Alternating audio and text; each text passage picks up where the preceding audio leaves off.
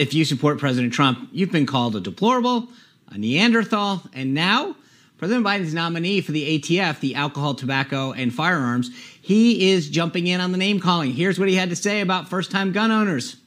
Um, I would secure that gun locked and unloaded and hide it behind the cans of tuna and beef jerky that you have stored in a cabinet.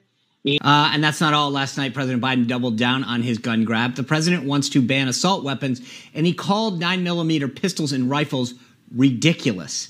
There are two ridiculous Tiger King, zombie, apocalypse, doomsday preppers. I mean, our company.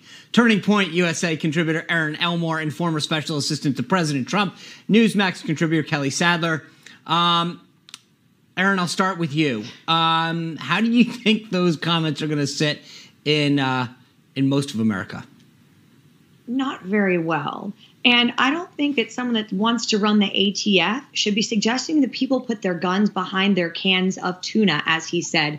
We know that people now and beef have jerky. Their, beef jerky, sorry. So behind the beef jerky and tuna and maybe some Prego pasta sauce, the point remains the same. You should have your guns securely stored in a fingerprint safe to protect your children and family members. This is such negligent advice. And by the way, he looks like a young Gary Busey, if I may say so myself. We have been called every name in the book. So I think I'm allowed to say that one. Yes, as you said, we are deplorable. We are smelly Walmart people. But you know what we are?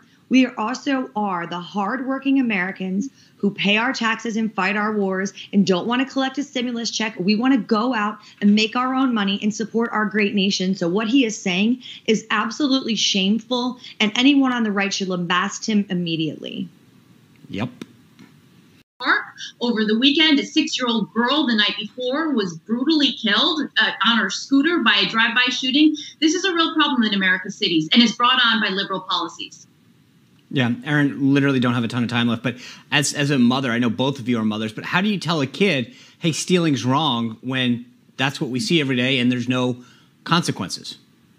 We really have to take our parenting to the next level these days because we know that they're not going to get it in the public schools. They're not going to get it on the Cartoon Network and Nickelodeon that are just propagandizing our children. So we really, as parents, have to be diligent and have to teach our children the way of the world in our vision, which is do the right thing, work hard, support and love your country, love your brothers and sisters, regardless of the race, color, creed, or gender. And what we see out there is completely wrong. Do not participate in that. Those are not the people that should be getting ahead in America. And the nice guy isn't going to finish last because we are going to raise our children to be better people and to know that this behavior is absolutely wrong.